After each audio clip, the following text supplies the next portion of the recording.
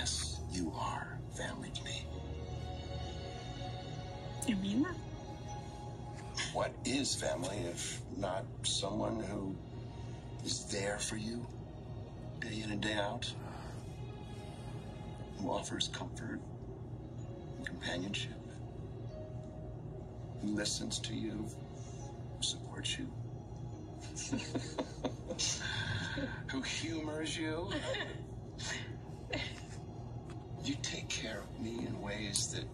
I think you even realize.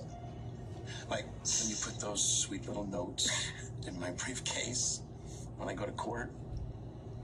Just so you know, you know, Hey. it's, it's not like some burden or anything. Well, I enjoy it. I appreciate it very much. Yeah, you can stop thanking me already, really. Well, I'm not thanking you.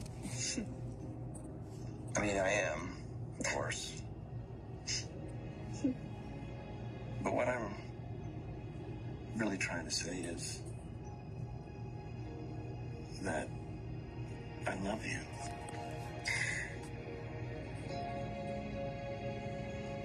It was good to see you, Mom. Yeah. You don't have to run off on my account. Oh, no, actually, I have a freezer full of chicken breasts to practice sutures on. Ooh, fun. And gross. Thanks for the cookies, son. I'll talk to you soon, all right? yes, I'll see you guys later. See you, Tripp. Thank you. Cheers. Cheers. How was your day? Ooh. Unproductive. I got a, a tip to go out to the cabin where Claire was held hostage yesterday. Oh, was someone there? Ben Weston. Yeah. He was uh, licking his wounds, so to speak. Ciara sent him divorce papers. He didn't know what to do. Yeah. Oh, that's rough. Yeah. Reminded me of my experience with that. Yeah, I remember how upset you were when you got the call that um Hope wasn't coming home. I know she means a lot to you. Yeah. She did.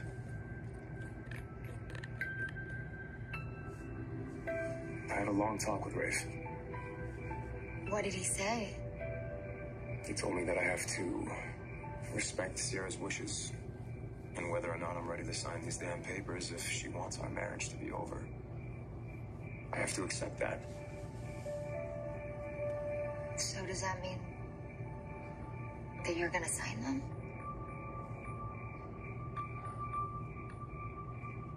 Thanks for hanging around tonight. I really appreciate